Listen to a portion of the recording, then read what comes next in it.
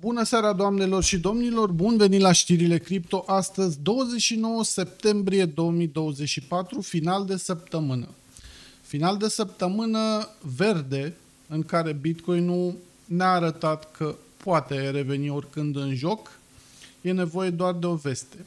Cum a fost cea cu tăierea ratei dobânzii și iată că efectul se simte, dar, dar, efectul mare încă nu s-a făcut simțit.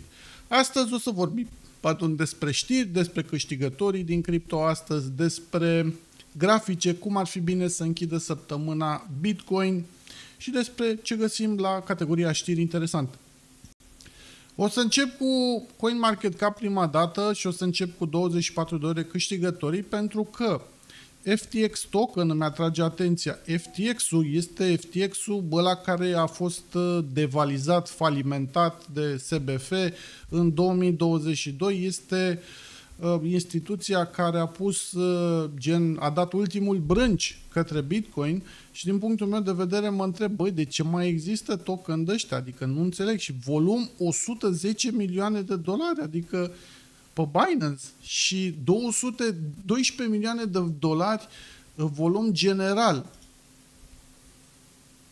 Adică gen de ce? Adică, na, buba la cap, nu știu ce zic, asta e piața cripto. Nu știu dacă știți, dar este public de ceva timp. Cei de la Tether, cel mai mare stablecoin al planetei, colaborează cu Doju, care înseamnă Department of Justice, Departamentul de Justiție american, cu brigada care se ocupă de uh, problemele din cripto. Aceștia au blocat 6 milioane de dolari înainte de a fi spălați, curățați și se pare că în clipa de față Tether a ajuns la aproape 2 miliarde de dolari în USDT pe care i-au blocat pentru că erau implicați în activități ilicite, ilegale. Și acum răspunsul da, Tether poate să vă înghețe bani în portofel fără nicio problemă. Puteți să vă gândiți, mamă, sunt un șmecher, îi am pe nu știu ce lege sau pe whatever. Mm-mm. Îi pot bloca. Vă pot să vii ia, da? Deci acea iluzie că, domne, în cripto știți, sunt doar banii tăi, nu pune nimeni mâna pe ei, sunt intangibili, uh, nu știe nimeni ce ai tu în portofel, nu știe nimeni a cui este portofelul, oameni buni. O mai visați. Se știe fiecare portofel cui aparține cine a făcut, cine n-a făcut, cum a făcut, înțelegeți? Adică e o iluzie. Din categoria știri care pot fi considerate indicatori de piață este inflow, adică banii care intră în ETF-uri, în ETF-urile Bitcoin. În ultimile șase zile au intrat 1,1 miliarde de dolari. Dragilor, o să vedeți că în piața este roșie, că din ETF-uri ies banii. Da? Și dacă vreți să vedeți ce intră, ce iese, vă arăt eu imediat. Vă recomand această platformă, acest site se numește sosovalue.com slash asset slash ETF slash USBTC spot, da? Și vedem aici, daily total net inflow 494 de milioane de dolari, cumulativ total net inflow, deci toți banii în ETF-urile de Bitcoin 18 miliarde,80 și total value traded până pe 27 septembrie, până la ora la care s-a închis bursa, aproape 2 miliarde de dolari. Not bad, not bad, pentru că ăștia sunt pe bune. Deci aici nu e cu market maker, cu vrăjeli, cu nu știu ce. Nu, astea sunt pe bune. Deci când astea sunt green, vedeți, gen aici green, au intrat bani aici, n-au intrat, aici green doar aici, da, un pic o scădere, da? uh, it's all good, da? Uite, BlackRock au 21 de miliarde, uh, Grayscale au uh, 20 de miliarde, uh, Kobe sunt 9 miliarde, ARC, Kobe pe Chicago, da, bursa de la Chicago, New York Stock Exchange, Nasdaq. În fine, puteți să butonați să vedeți aici cum intră, cum ies banii, da? Pentru că uh, de acum înainte și bursa va fi un indicator pentru ce face Bitcoin-ul, nu doar Bitcoin, da? Practic ea de la bursă o să uite și pe CoinMarketCap, văd ce fac băieții acolo, bine, CoinMarketCap, păi la bursă se uită la alte date, da? Și cei de la de pe CoinMarketCap o să uite și pe aici, bă, ce face Bitcoin-ul, ce cutare. Hai să vedem acum care e treaba cu Bitcoin. Bun, deci, graficul pe o săptămână pe Binance Bitcoin în paritate cu Tether-ul Săptămâna asta am stat deasupra la 20 weekly moving average, care e la 60.700. Știți că săptămâna trecută mă rugam, Doamne, să se închidă peste. Da? Am avut noroc atunci. Bun. Ce zic indicatorii?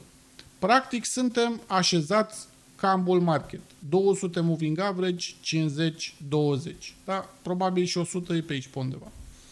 Stochastic RSI pare că vrea să înceapă urcarea. MACD-ul pare pe final de corecție. Eu am două MACD-uri, sunt calibrate unul mai rapid, unul mai lent. Da? Și nu am aceste liniuțe pe ele. Un indicator foarte, foarte important este acesta, da? pe care o să-l împărtășesc cu voi. Se numește Better RSI, da? acest indicator. Și dacă tot zic că îl împărtășesc cu voi, să nu ziceți că nu fac treaba asta. Da? Uitați-l aici.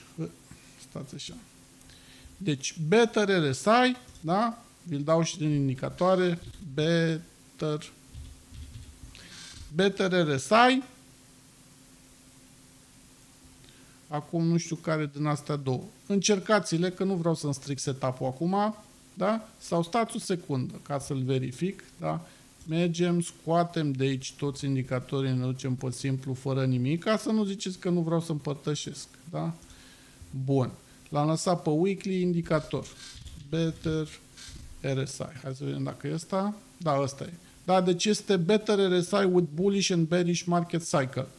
Este făcut de trade calmly, adică tranzacționează calm. Da? Practic, indicatorul ăsta mie îmi spune când suntem peste 50 că piața este bullish, da? indiferent de interval. Da? Acum eu mă uit pe weekly, macro suntem bullish, lumânarea e verde, e verde, ăsta e peste 50, e peste 50. Ultima dată când ăsta a spart, da, a fost în vară, în iulie, da, am avut un pump până pe la 69.000, chiar până în 70.000, da? Deci am avut mișcare pe el. Toamna trecută, în schimb, veneam tot așa după o cocostârcăreală, ne dădea în vară corecție și urca. Da? A urcat primul nivel aici, probabil mult s-au păcălit. Da? Și a mai făcut o tură de asta puternică până în 74 de mii. Până în 70 și, stați așa, 73 Acum noi suntem bine, da? Bear market-ul când este? Bear market-ul este aici, în forma asta, vedeți? Da? Deci când vine, cade, confirmă ăsta ca rezistență și se duce în jos. Da? Vedeți și aici, venea în vară, cade sub, se întoarce, dacă îl confirma ca rezistență, începea bear market-ul. Bun, săptămâna asta ce mă interesează pe mine este să închidem peste acea valoare, stați așa să mă duc pe setup corect. Bun, da? Deci v-am arătat better RSI. Bun. Să mă închid peste 61, asta nu este o problemă, da? Iar eu acum știu că sunt foarte aproape de prima rezistență 66.000 și următoarea rezistență care este pe la 68.000. Deci a, am cam trei praguri de rezistență. Da? Pe lângă, da, jucăria noastră mare, da, trendul ăsta. Aici am mai făcut eu un trend pe 4 ore. Săptămâna asta aș vrea să spargă 67.800. Da? Asta, asta ar fi misiunea și targetul suprem pentru Bitcoin săptămâna asta. Dragilor, mâine ne vedem la un episod de analiză premium pentru toți cei care sunteți abonați. Mulțumesc celor care sunt abonați de mai bine de un an de zile, da? ceea ce pentru mine înseamnă foarte mult, vă apreciez. O să citesc așa din lista de membri, dau click și spun așa, Vasile Bungaru, 20 de luni, mulțumesc tati, apreciez, înseamnă enorm. Vibe Music, 9 luni. Rafael Burcuță, 7 luni. Alex Bratu, 17 luni. Uh, Nikita Justin, 3 luni. Uh, Andrei Rădeanu, 7 luni. Uh, pot să vorbesc și de cei noi. Neluțu, 10 zile. Pralucate, 10 zile. Nicu Ivașcu, 10 zile. Emanuel Zlătariu, 13 luni. Gheorghe Leontin, 12 luni. Uh, Florentin Trifan, 27 de zile. Uh, Jimmy Samurai, 13 luni. Andrei Oțet, 19 luni.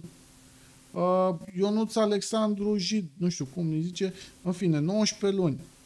Uh, Marian, 13 luni. Bă, frate, deci sunt niște oameni cărora jos pălăria, da? Și o să vă explic partea asta cu canalul premium, da? Ca să devii membru e o chestie foarte simplă, da? Aici ai un buton de join, da? Pe care dai click și te abonezi, un singur abonament.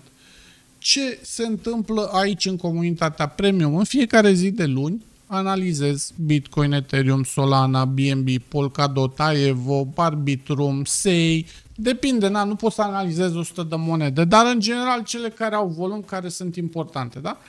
Le analizez și spun, băi, uite, astea sunt zonele de interes de intrat, astea sunt zonele care nu sunt de interes, da? Și spun momente când piața nu este propice. Zic, bă, săptămâna asta n-aș intra în asta, n-aș intra în aia, n-aș intra în aia. Dar este analiză tehnică, exprimarea este una intențională, da, gen, uite, urmăresc aici, aș lua poziție aici, aș face treaba asta, da? Practic, știți, grupurile alea de semnale, da?